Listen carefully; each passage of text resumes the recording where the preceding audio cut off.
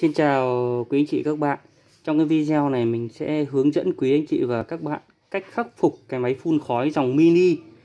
Phun vừa khói vừa nước. Đây, Ví dụ trong trường hợp như này. Đây quý anh chị nhé Máy vừa phun khói vừa phun ra nước đây này. Này Nó vừa kết hợp vừa phun khói vừa phun ra nước này.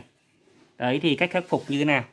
Thì con máy này nó bị lỗi lơ ne quý anh chị các bạn nhé thì chú ý đây là mình sẽ hướng dẫn cách uh, xử lý các cái con dòng khói mini 600 hoặc 400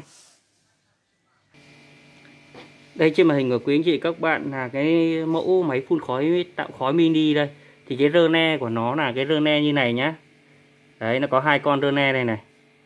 Đấy chú ý đây là dòng máy tạo khói mini 400 hoặc là 600W thì rơ ne nó sẽ như này.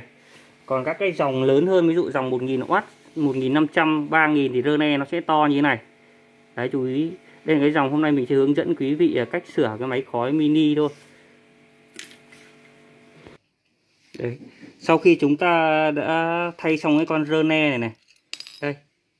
Sau khi chúng ta đã thay xong cái con rơ ne và gắn trực tiếp vào cái buồng đốt ý, thì máy sẽ chạy được bình thường được quý anh chị các bạn nhé. Đấy, sẽ không bị phun ra nước nữa, mà bây giờ toàn phun ra khói thôi. Đấy, trường hợp đầu tiên thì nó phun ra nước và khói bây giờ toàn phun ra khói đây nhé Đấy, vậy là đơn giản thôi quý anh chị.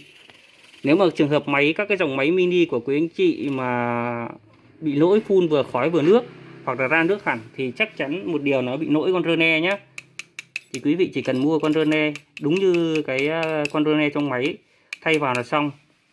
Còn cái dòng 1000 hay 1500 hay là 3000 thì con rơ ne nó kiểu như thế này thì chúng ta phải mua cái kiểu rơ ne như này để thay.